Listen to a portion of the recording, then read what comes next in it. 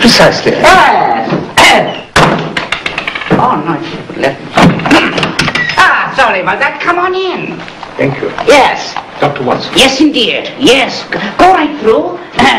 Uh, Holmes, this is Dr. Mortimer. Uh, Dr. Mortimer, this is Sherlock Holmes. Please don't get up, Mr. Holmes. I had no intention of doing so. Watson, fetch this gentleman a chair. Oh, I'd be delighted to do so. Yes, indeed. Oh, my goodness. yes. Why don't you take a seat, Dr. Mortimer? Sit yourself down here. Thank you. Oh, thank you. Pleasure. May I tell you, Mr. Holmes, how much I've admired you over the years? Well, naturally, Dr. Mortimer, but please get on with it. Ah, uh, let me explain, first of all, that I am the executor of the Baskerville estate, valued at over a million pounds, almost all in property, a vast expanse of desolate moor. I read about Sir Charles's death in the Times. Natural causes, was it not? Well, that was for the public, but it is in my opinion that Sir Charles was murdered. Murder by supernatural means. My dear fellow, we are living in the 20th century. Aren't we? Well, be that as it may, local legend has it that a monstrous brute, a veritable hound of hell, has been the death of every single master of Baskerville Hall. A hound? Dr. Mortimer, just what were the circumstances of Sir Charles's death? Well, Sir Charles Baskerville was my patient for a great number of years, during which time he was completely sane. But as the years went by, he became somewhat of a recluse, rarely leaving his estate and building a huge fence round the whole of the property. He became completely and utterly obsessed with the idea that the legendary Hound of the Baskervilles was going to return to destroy him. How extraordinary! I see nothing unusual in any of this. Oh, my thoughts exactly, Holmes. Oh, yes. I was called to the house in my official capacity as coroner to investigate the extraordinary circumstances in which Sir Charles' body was found. Do go on and spare no detail, however small. Get it over with. Yes, cut it short. On his face was frozen a look of such extraordinary terror that it was almost impossible to recognize him. There was no sign of physical violence on the body whatsoever, but close by were footprints.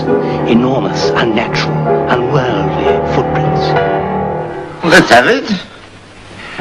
Mr. Holmes, they were the footprints of a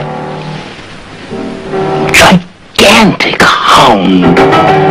Oh, does it have huge dripping jaws and, and, and great oozing eyes and enormous private parts?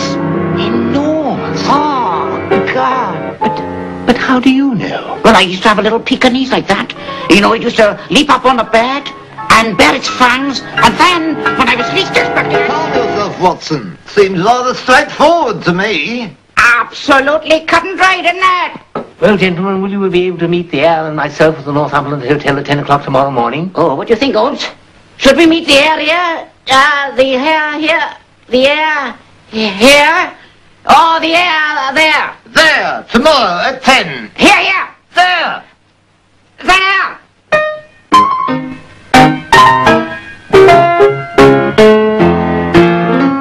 May I introduce young Sir Henry Baskerville, heir of Baskerville Hall and 2,000 acres of swamp. I can't thank you enough, Mr. Holmes, for coming here this morning. I mean, what with you being such a wonderful sleuth. You must help us, Mr. Holmes. A sinister incident occurred last night. Tell him, Sir Henry. Yes, well, I went to bed early because, you see, I... No, not me, him. Oh, yes, of course. Okie dokie. I went to bed early last night because I felt a bit under the weather. A touch of dicky tummy, you know, runs in the family. yes, well, anyway, I put my boots out to be shined, and when I got up in the morning, I opened the door, and would you believe it? One of them was missing. Do you think I'm going to waste my time combing the streets of London for some old boot? This is a job for an imbecile. Quite right, Holmes. Let me deal with this. Sir Henry, uh, the boot you alleged was stolen. What colour was it? Brown, brown, yes, brown. Oh, uh, brown, was it? Yes, Brown. Exactly the same colour as this boot, the one we have in front of us. Of course, I always try to get two the same color. It's too much of a coincidence, Holmes. I don't like the smell of this. The smell, exactly. What better way to entice a hound than to give it some personal object from which it can derive the scent of the intended victim? Yes, Sir Henry is in great danger. I'm sorry, gentlemen, I'm not available to take this case. Dr. Watson will handle the matter. Oh, no! Oh, no, Holmes, I've never done anything on my own before. I think you have, Watson. Are you sure you won't change your mind, Mr. Holmes? I'm sorry, Dr. Mortimer. I'm very tired. I've had a lot of cases. Being the world's greatest detective is no bed of roses. I'll leave you in good hands. Good day, gentlemen. I'll find my own way out. Yes, he probably will. Yes. This is a bitter disappointment to me. Huh.